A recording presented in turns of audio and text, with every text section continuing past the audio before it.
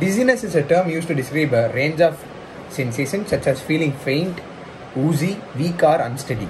Dizziness that creates the false sense that your surroundings are spinning, moving is called vertigo. Symptoms of the vertigo. People are experiencing dizziness may describe it as number of sensations like false sensation of in motion or moving or spinning, lightness of feeling faint, unsteadiness or low loss of balance. A feeling of floating, wooziness or heavy headaches may be also a symptom for vertigo. Causes of vertigo is dizziness has many possible causes, including inner ear disturbance, motion sickness, and medicational effects. Sometimes it caused by an underlying health condition such as poor circulation, infection, or injury. The way dizziness makes you feel or your triggers provides clues for possible causes. Along with the dizziness loss and any other symptoms, you have also helped pinpoint the clue. Then here comes the uh, the way dizziness makes you feel and triggers provides clues for the possible cause as I said before. Your sense of balance depends on the combined input from the various parts of your sensory systems also. This includes your eyes, sensory nerves and inner ear. Like when I say eyes, it helps you to determine where the body is in the space. Like sensory nerves which sends messages to the brain about body movements and positions. Inner ear which houses the sensors that help detect the gravity and back and forth the motion. Vertigo is the false sense that your surroundings are spinning and moving. With inner ear disorders, your brain receives signals from the inner ear aren't consistent. What your eyes and sensory nerves are receiving. Vertigo is what results as your brain works. Like there are many types of vertigo. Like what I'm saying is there is one type like BPPV, benign paroxysmal positional vertigo. This condition causes an intense and brief false sense that you are spinning and moving and it also caused by infection. A viral infection of the vestibular nerve called vestibular neuritis can cause intense constant vertigo. If you also have HELP sudden and uh, neuro- hearing loss, you may have a labyrinthitis.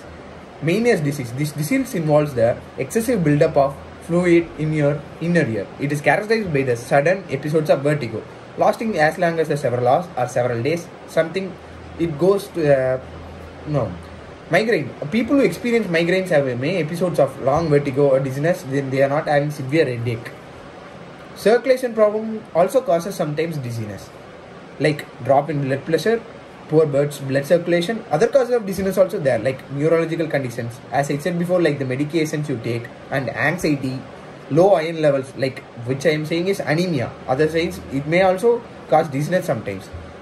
Um, other may like hyperglycemia like low uh, blood glucose level carbon monoxide poisoning and overeating and dehydration, is a main cause for vertigo. If you are active in hot weather and you don't take enough fluids it may also cause vertigo.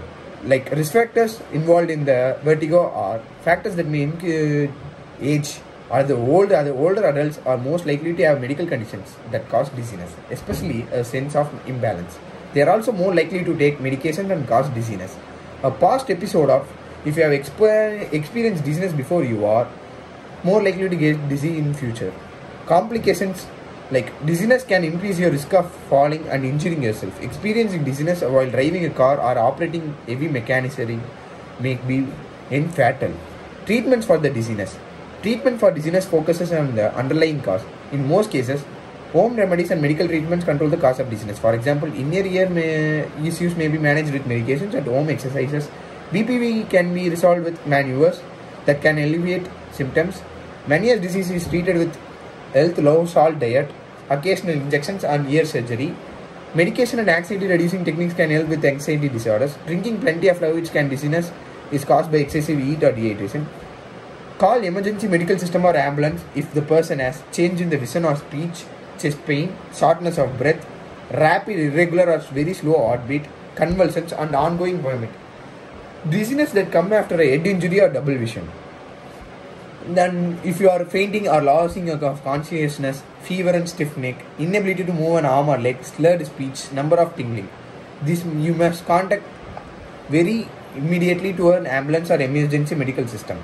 The treat symptom, the person should sit down or lie still. If the person gets light-headed with when standing up, the person should stand up slowly. Avoid sudden changes in the position. If the person is thirsty, have them drink fluids. Avoid bright lights. Call a healthcare professional and ask them what to do what to do after they become dizzy follow up As the healthcare providers officer or hospital, the next steps depend on the particular case. The person may get oxygen or IV fluids to treat dehydration.